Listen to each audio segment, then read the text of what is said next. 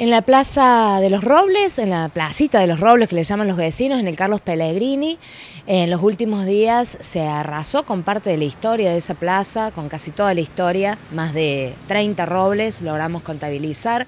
El municipio salió a decir que habían talado 10 robles, que era por un bicho, un hongo. Bueno, eh, la cuenta que hicimos nosotros es más de 30. Pudimos constatar además que hay árboles que no estaban secos, troncos que, se ve que estaban vivos. Bueno, a raíz de eso y del reclamo que nos plantearon muchos vecinos, es una plaza en la que hace mucho tiempo venimos pidiendo mantenimientos desde el año 2012 que se vienen presentando hasta notas de vecinos, encontramos una nota del 2012 de los vecinos firmada por los vecinos de la zona y en lo particular mi blog este año en marzo presentó un proyecto que tuvimos que pedir que se tratara y que luego pedimos que se tratara sobre tablas, que no lo quiso acompañar el oficialismo, para que se abordara la mantención de esa plaza, o sea, alertando lo que estaba sucediendo en la plaza. Bueno, a raíz de todo eso hicimos un pedido de informe que presentamos la semana pasada a la Secretaría de,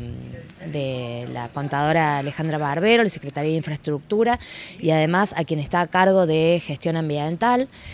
Eh, Eugenia Molinari, para que nos expliquen qué se hizo en esta plaza, por qué se avanzó de esta manera, por qué se arrasó, quién autorizó esta tala, si se inició un expediente interno a raíz de esto, si se presentó, se hizo anteriormente un estudio del impacto ambiental o del riesgo que había sobre esa zona, sobre la necesidad que hubiera de talar estos árboles. Pero bueno, estamos esperando respuestas. Eh, vamos a ir hasta las últimas consecuencias con esto porque entendemos que se ha dañado parte del patrimonio ambiental y arbóreo de nuestra ciudad. Hay una omisión clara acá del municipio en todos estos años de no respetar lo que dice la Carta Orgánica que dice específicamente queda prohibida la tala indiscriminada de árboles. Bueno, a cualquier vecino se le pide la autorización para eh, podar así sea una rama de un árbol que esté en la vereda y a veces de hasta tu propio patio, patio eh, y, no, y si, no lo cumplimenta es pasible de sanciones. Bueno, ¿qué hizo acá el municipio? Nosotros queremos saber y vamos a ir hasta las últimas consecuencias para averiguarlo porque entendemos que es algo se ha hecho algo que no tiene eh, vuelta atrás, es irremediable, pero alguien tiene que responder por esto que se hizo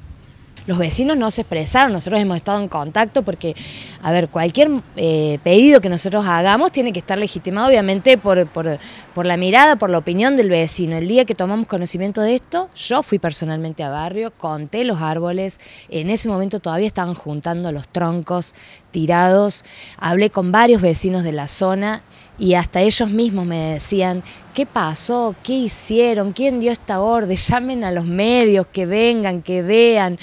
Bueno, los vecinos muy dolidos porque en los barrios las plazas tienen una significación muy especial y ellos la placita de los robles, como te dije al principio de la nota, para ellos era muy importante y aparte un orgullo